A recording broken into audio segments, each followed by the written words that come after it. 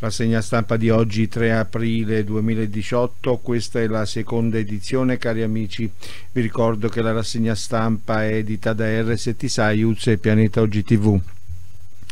DJ Fabo, il governo si è costituito davanti alla consulta, Associazione Coscione dice Stato difende reato liberticida del 1930. Per i giudici milanesi l'Espenonte non ha rafforzato il proposito suicidiario e la parte della norma che punisce l'agevolazione al suicidio senza influenza sulla volontà dell'altra persona è costituzionalmente illegittima. Il governo Martina dice con il Movimento 5 Stelle è difficile, con Salvini è impossibile, Esposetti dice nessun metodo, solo amichetti di Renzi. Il reggente del PD ha detto che sui temi come i dazi o sull'Europa ci sono differenze e lo stesso movimento mi pare non voglia un esecutivo con noi. L'ex tesoriere di S dice nel partito non c'è né strategia né tattica.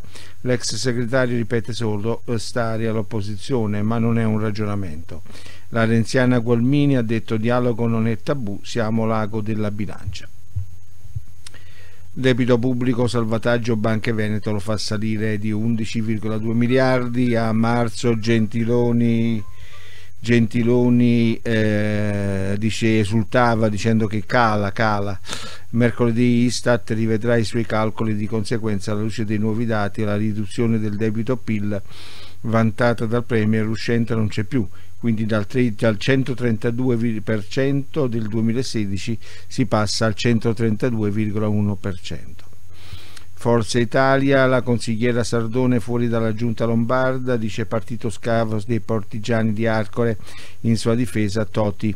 La consigliera ha raccolto 11.000 preferenze ma è stata esclusa dalla giunta regionale, scoprendolo solo quando tutto era già ufficiale schiaffo alla meritocrazia e nessuna motivazione, dice.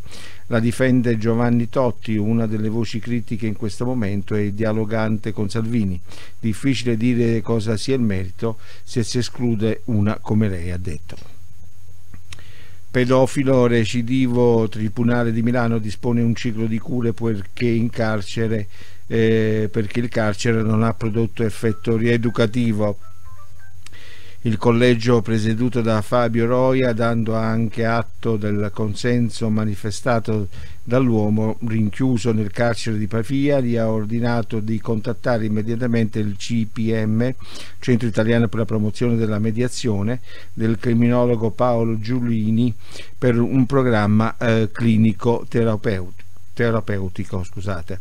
Bene, con questo è tutto, vi diamo appuntamento alla prossima rassegna stampa, buon proseguimento con i nostri programmi e vi ricordo che la rassegna stampa è edita da RST Science e Pianeta OGTV.